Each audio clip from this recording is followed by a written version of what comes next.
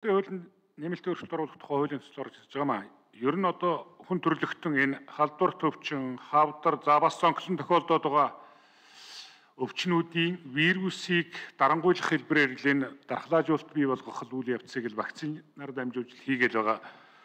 Тодорхой эрсдлийг бууруулж, за зарим тохиолдолд бараг гаралтыг байхгүй болгож байгаа ийм л үйл явц харагддаг л да. Тэгэхээр зэрэг энэ дэлхийн эрүүл мэндийн байгууллагаас зөвлөсөн гэдэг юм уу, зөвшөөрсөн гэдэг юм уу? Вакцинуудаас Монгол ер нь хийдгүү гэдэг юм уу, хэрэгэлдэггүй вакцин гэж байна уу? энэ дээр нэг тодруулгамаар байна. Хоёрдугаарт биднээс чинь энэ хатгалтын тоог бууруулъя гэд тавт вакцин вакцин гэдэг нэг баахан ярьцгаагаад товлолынхон вакцин руу оруулж ирээд ингээ яваад байгаа улс.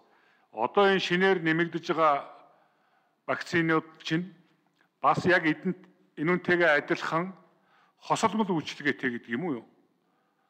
Тийм одоо вакцин байгаа юу?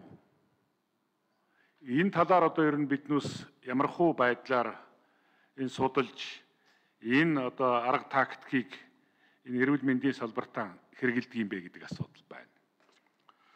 Гурав дахь зүйл манай эрүүл мэндийн байгууллагын эрдэмтэн судлаачид энэ дархлаажуулалт хортой гэдэг юмыг нийгмийн сэтгэл зүйд гаргаж яриад болгоомжил үүсгээд байдаг.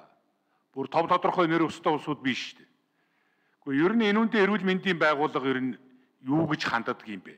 Өөрөөсөө учир шалтгааныг мэдсээр байж энэ нийгмийн сэтгэл зүйг ингэж янз бүрийн байдалд оруулаад байгаа улсууд дээр ер нь ямар одоо арга хэмжээ авдаг юм. Энэ хуулийг дагуулж энэ нийгмийн сэтгэл зүйг эвдээд байгаа гэдэг юм уу болгоомжил үүсгээд байгаа улсуудад тооцох хариуцлагын ямар механизм одоо заалт байгаа юм бэ? Ийм нэг хідэн зүйл дээр тодорхой хариулт авъя. За, Батчаалын шинэ асуултанд ажлын хэсгээс хариулъя. Ажлын хэсгийн 81 дэх микрофоныг өгье. За, жаргал Бачаргал гишүүний асуултанд хариулъя. Энэ э, манай улсад э, заавал хийх тархлаажуулалтанд хамрагдж байгаа вакцинууд бол бүгд Дэлхийн эрүүл мэндийн байгууллагаас зөвлөмж болгож байгаа вакцинууд байдаг. За тэгээд Дэлхийн эрүүл мэндийн байгууллагаас зөвлөмж болгож байгаа төдийгүй хуульдаа бид нар 2010 онд оруулсан нэмэлт өөрчлөлтөөр нүүбийн байгууллагаар дамжуулж энэ баталгаатай вакциныг чанарын баталгаатай вакциныг хүүхдүүдэд хийж байгаа. За харин э, тэр юуны 5 вакцин, 3 вакцины тухайд гэвэл бид нар энийг нэвтрүүлснээр жилд хийгдэх хатгалтын тоог асар бууруулж байгаа.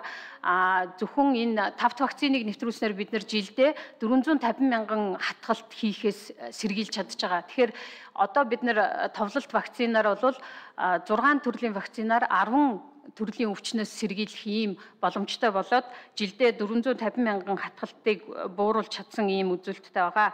А одоогор э, шинээр нэвтрүүлэхээр орж ирж байгаа гепатит А, HPV болон пневмококкийн эсрэг вакцин бол яг одоо дан ганц ийм вакцин байгаа. Өөрөөр хэлбэл олон өвчнөөс хавсарсан тийм вакцин бол биш ээ. Вакцины эсрэг одоо буруу сурталчилгаа явуулж байгаа асуудал дээр бол бид нар бас тодорхой хэмжээгээр одоо хариуцлагын хууль хяналтын байгууллагуудад энэ вакцины эсрэг буруу сурталчилгаа явуулж байгаа хүмүүсийг мэдээлэх замаар таслан зогсоох сэргийлэх арга хэмжээ авч байгаа. За. За, оюун чимэг гашуун. Асуултаа асууя.